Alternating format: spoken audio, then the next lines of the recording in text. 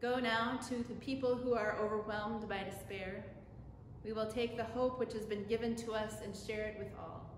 Go now to those who are at odds with neighbors.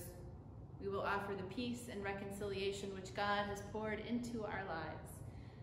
Go now to those who are the most vulnerable in our world. We will bring the healing, the grace, and the love of our God.